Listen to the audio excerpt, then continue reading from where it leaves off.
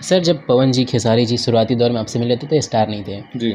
आप आपने उनको सजाया उनके गानों को इस तरह से बनाया कि वह ऑलमोस्ट टॉप गानों में शुमार हो गए। लॉलीपॉप की बात कर लें। सर लॉलीपॉप की कुछ कहानी जो आपके दिल और जहन में वो अभी भी है कि वो जब आप मेकिंग कर रहे थे बना रहे थे म्यूज़िक डाल रहे थे तो क्या क्या चल रहा था? क्योंकि उस समय बहुत ही नया नया था और आपके लिए भी काफ़ी वो चेंजेस था। देखिए लॉलीपॉप एक हिस्टोरिकल सॉन्ग है। लॉलीपॉप इसलिए जाना जाता है कि उसकी वजह से एक्चुअली भोजपुरी एक प्लेटफॉर्म पे आ गया। प्लेटफॉर्म मेरे कहने का मतलब है कि एक क्षेत्र की एक ज़िले की अभी यूपी बिहार को आप छोड़ दीजिए मैं वैसे बात करता हूँ कि लिसनर्स ने उसको एक क्षेत्रीय सॉन्ग को उठा के एक नेशनल और इंटरनेशनल प्लेटफॉर्म दिया।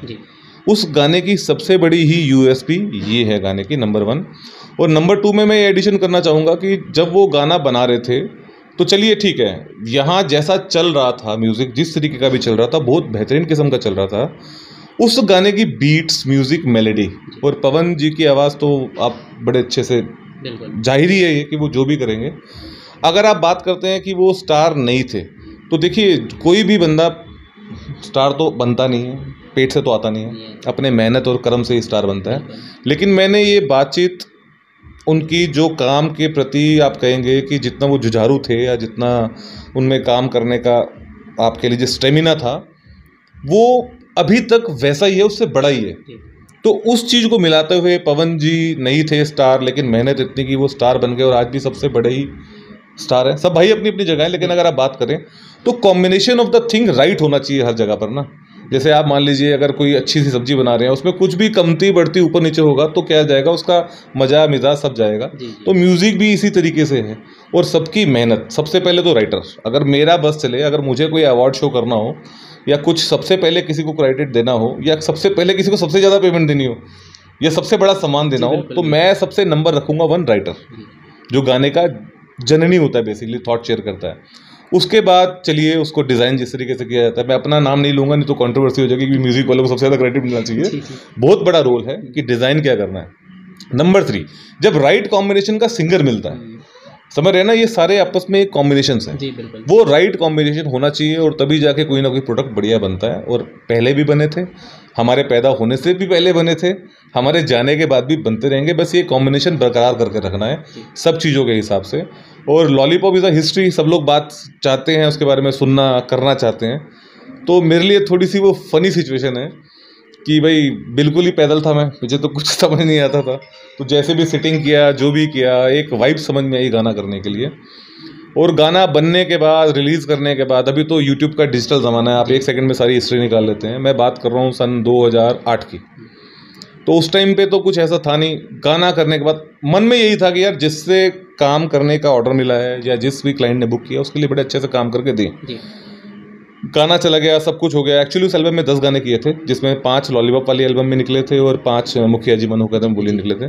तो वो गाना करने के जब आठ नौ महीने बाद पता लगा कि ये गाना बहुत बाज़ार में, बिहार में बहुत ही ज़्यादा पसंद किया जा रहा है तो वेव कंपनी के तब श्रीमान स्वर्गीय कुमार गौतम जी होते थे। बस उनसे ऐसा प्यार हो गया कि बस उन्होंने कहा कि भाई साहब हमारे साथ ही काम करोगे आप, और कहीं कुछ आप काम नहीं कर सकते।